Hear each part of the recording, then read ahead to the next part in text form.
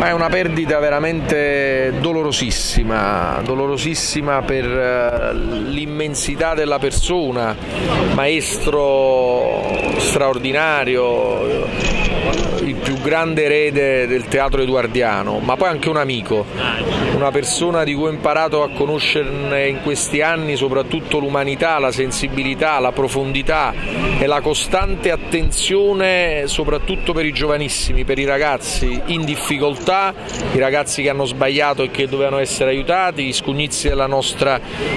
città. Quindi anche l'entusiasmo, pur non stando in condizioni di salute ottimali, pur l'entusiasmo con cui lui aveva accettato di dirigere la prima scuola napoletana di drammaturgia in lingua napoletana, che noi abbiamo fortemente voluto nel momento in cui il Teatro Stabile di Napoli è divenuto Teatro Nazionale, i progetti sull'ex eh, carcere minorile Filangieri che da pochi giorni è entrato nella disponibilità del Comune, i progetti su Nisida, sulla Fondazione Edoardo, quando abbiamo ricordato Francesco Rosi, anche con la moglie Carolina, a cui va un abbraccio affettuoso a lei e a tutta la famiglia da parte mia e di tutti i napoletani. È una perdita enorme. Io quando quando vedevo Luca vedevo Edoardo e quindi adesso il compito nostro è preservare quella tradizione immensa e senza fine che è il teatro popolare della nostra città. E le parole ultime di Luca hanno coinciso con, eh, con le parole ultime di Edoardo,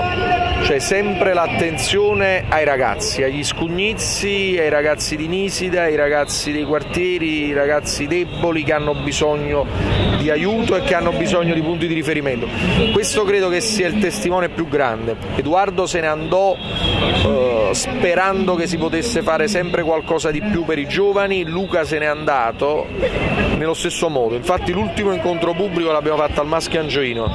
in occasione dei 30 anni della legge Edoardo, stavamo lì abbiamo parlato proprio di questo. Lui già non stava bene, infatti anche l'ultimo spettacolo che ha fatto al Teatro Augusteo si vedeva che insomma, stava peggiorando eh, seriamente, quindi questo è il testimone che ci lascia, fare sempre di più per i giovani della nostra città. Qualche giorno fa, prima che si ricoverasse, con Luca si era fatto un sopralluogo